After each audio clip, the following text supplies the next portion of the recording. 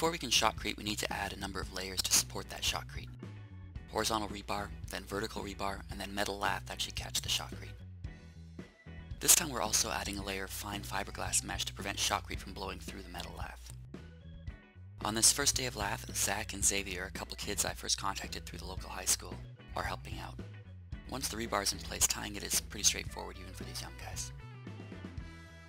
From another angle, after the rebar is in, we put a row of fine fiberglass screen. This is the same stuff you would use for a screen door, except we bought it in 100 foot long rolls. Then we back it with metal lath to hold it up against the shotcrete. This gets tied tightly to the steel frame but loosely to the rebar so that the concrete can get around it and embed the rebar. For the end of the dormers I just welded up some rebar, mostly taking advantage of triangle shapes.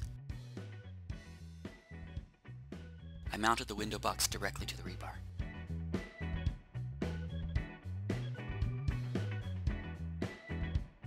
Next day we got playing with that rotating mount again.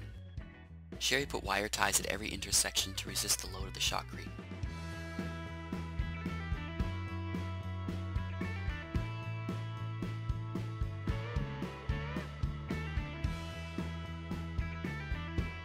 I also put the window box into the other two dormers, same plan as before but smaller. On this third day we only had a couple hours so we started up on a high section.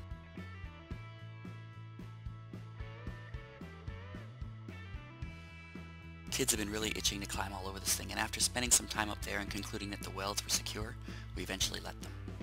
A fourth short day and Sherry is further up the master bedroom walls, working with Michael. Getting the metal lath tied on requires one person to push the wire through and a second person to catch it and twist it. I was busy on other parts of the build, so Sherry worked with the boys to get most of it done. They could give it enough of a twist that it wouldn't fall off, and then Sherry would come back on the other side and check and adjust as necessary. On this day I had a couple helpers, so I focused on rebar again. I managed to weld these first pieces in right away, but for the second vault, I mainly looked after measuring and bending, and Dan and Bonnie tied it into place. Pretty straightforward but tedious.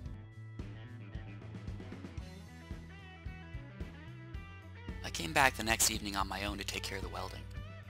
By this point I was on my new bigger generator, and the extra power actually made it a lot easier to weld. It's amazing how fast the evening flies by when you're welding. I decided the dark wasn't enough to make me go home, but eventually the mosquitoes were. Another Saturday and my parents came down to help.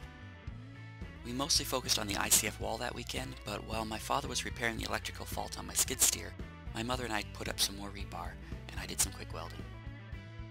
Including some days that I didn't quite catch with the time-lapse camera, I would say we have about 60 man-hours in, and we're about one-third of the way through the rebar and lath portion of the bedroom wing.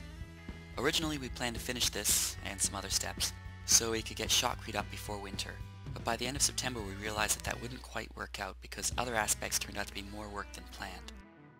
Winter arrived and we'll need to get back to this in the spring. In the meantime, I plan to focus on the Quonset hut and the rest of the remaining concrete ribs.